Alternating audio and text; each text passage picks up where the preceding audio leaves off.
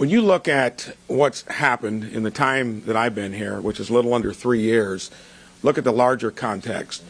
We were 18 trillion in debt when I got here. We're now nearly 30 trillion. With the American Family Rescue Plan, sounds great.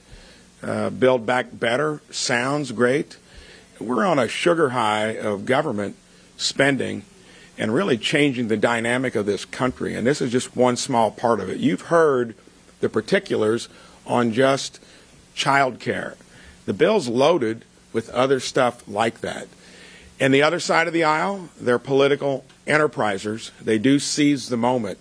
But the shameful part about this is the CBO just took the real score on when you do something like this, and it's closer to three trillion of additional debt, not 360 billion. Of course, we throw trillions around now like we used to billions. But the shameful part of it is child care. We're asking our children and our grandkids to pay the bill.